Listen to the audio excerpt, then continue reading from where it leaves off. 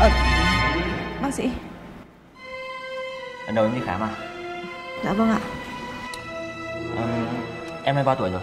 Dạ em 24 ạ. 24 tuổi à? 24 tuổi mà đi khám lần đầu ấy Thì là hơi bị muộn đấy. À, Thông thường thì à, cứ ngoài 20 ấy Thì người ta đi khám định kỳ một năm một lần. Nếu mà phát hiện mình có bệnh ấy Thì còn chữa trị định kỳ. À em yên tâm đi. Đây là trách nhiệm của bọn anh mà. Bây giờ anh lấy cho em cốc nước Em uống cho bình tĩnh nhá. Vâng ạ.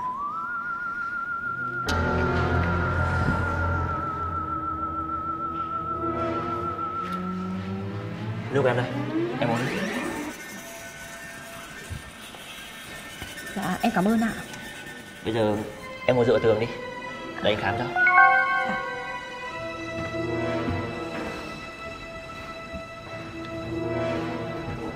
Em làm cho anh nói nhá Bây giờ nhắm mắt vào Hít một hơi thật sâu.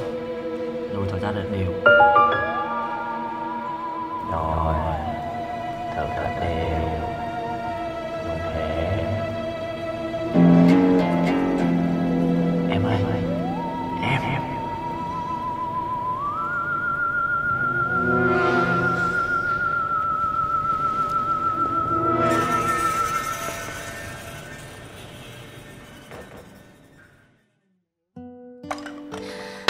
Nay em về muộn quá.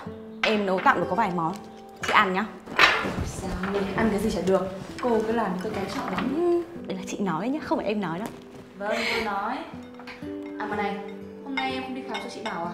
Chị gọi cho bác sĩ, bác ấy bảo là em không đến đâu nhé Em có mà Nhưng mà em đến thấy đông quá Xếp hàng la liệt luôn ấy. Thế nên là em tìm lại một cái phòng khám tư cạnh đấy Khám luôn cho nhanh chị ạ. Được, bác sĩ bảo thế nào? Có vấn đề gì không?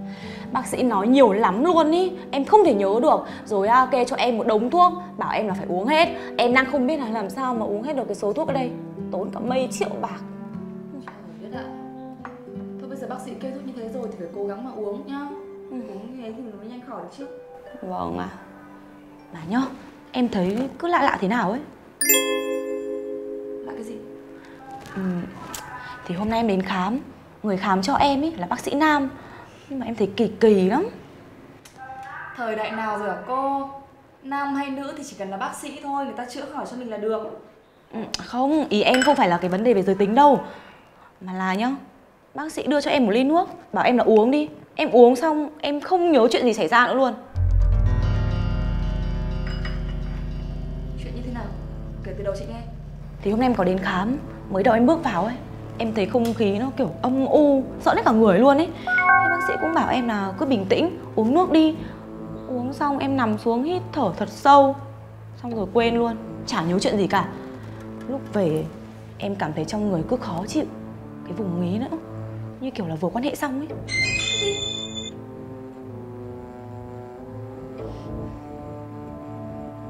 Đưa chị địa chỉ. Địa chỉ ạ? Đây ạ cơm đi Vâng ạ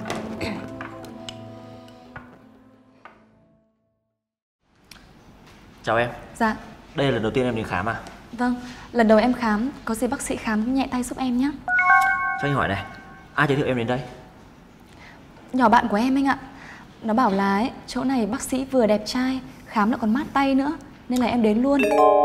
Được rồi Thế để anh khám cho em nhé Dạ, À Anh hỏi một chuyện tế nhị một chút nhá vâng.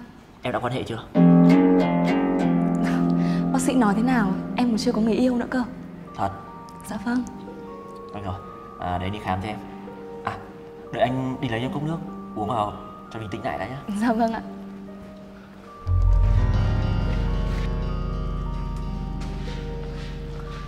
Nước của em đây Dạ Em vâng, em đi. cảm ơn. À Anh ra lấy đồ nhá Em cứ ngồi đây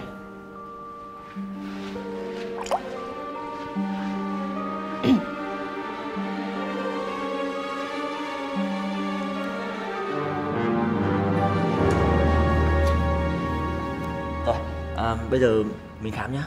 Dạ vâng ạ. Em ngồi dựa vào tường đi.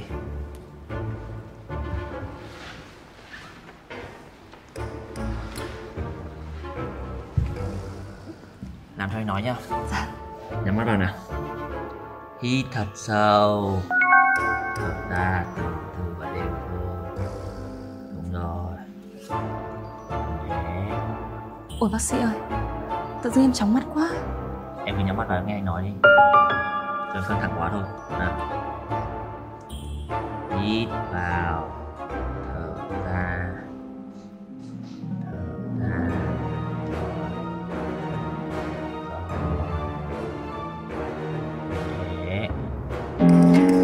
Để anh khám nhá. Em ơi. Em ơi. Nhìn ngủ nó cũng xinh đẹp như thế này ấy. Không thương em. Hơi bị phí. Thằng chó này. Con chó này.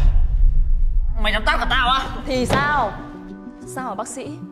Bác sĩ định hôn cả em à? Mày. Mày đi đánh chị gái tao á? Chúng mày Chúng mày lừa tao à?